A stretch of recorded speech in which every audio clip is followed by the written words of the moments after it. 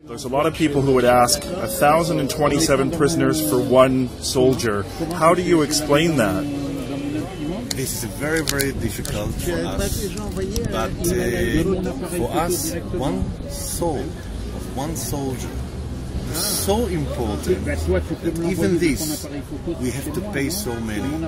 That you can understand the difference between us and our neighbors, our enemies. For one, one soldier, all the nation, the Israeli nation, the Jewish people, prayed and saw us God to help us. And so many demonstrations were to get him free. This is our speciality of our uh, heart, the Jewish heart,